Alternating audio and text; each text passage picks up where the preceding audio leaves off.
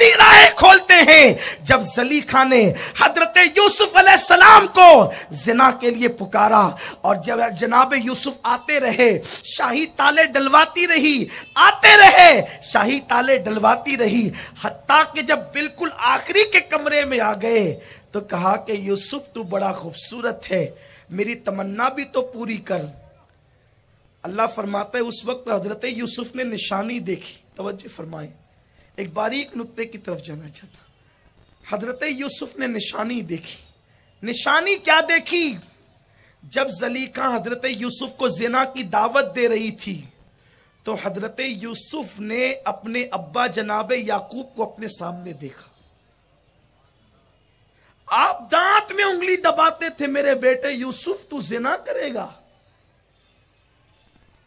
कुरान ने इस तरफ़ इशारा किया है। पता चला नबी होता कहीं है। नबी होता कहीं है, लेकिन ताकत नबूवत से वो जहाँ चाहता है जा सकता है। निशानी देखी तो आपने अपने अब्बा को जब दांत में उंगली दबाकर ये कहते थे कि तू जिना करेगा तो हज़रत यूसुफ भागे। जब भागे तो जलीका खुश थी, जाएँगे कहाँ? इसलिए कि हमने तो शाही ताले डाल दिए हैं, लेकिन तफसीर में आता है कि जब जनाब यूसुफ भागे हैं, जैसे दरवाजे पे पहुँचे ताला खुद बखुद टूट करके गिरा, दरवाज़ा खुल गया और जनाब यूसुफ निकल गए। बचने की तमन्ना करो, अल्लाह ज़रूर बचा लेगा। और आज भी अल्लाह के ऐसे बंदे हैं कि जिनके घरों में टीवियाँ तक नहीं है। आज भी अल्लाह के ऐसे बंदे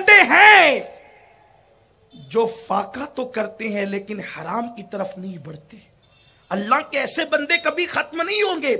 आज भी अल्लाह के ऐसे बंदे हैं जो साल में एक लिबास खरीदते हैं, लेकिन हराम की आमेजिश उसमें उसमें नहीं करते। आज भी अल्लाह के ऐसे बंदे हैं कि जो अपनी रातों को मुसल्ले पर गुजारते हैं।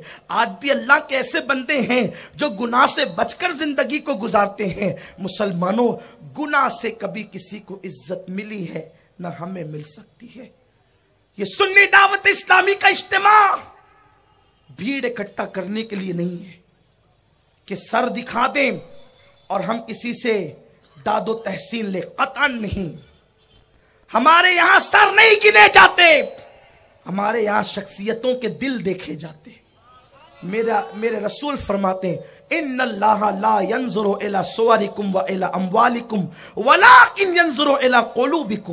अल्लाह ना तुम्हारे चेहरे देखता है, ना तुम्हारे माल। अल्लाह तो तुम्हारे दिल देखता है। और ये दिल सिया होते हैं गुनाह की वजह से।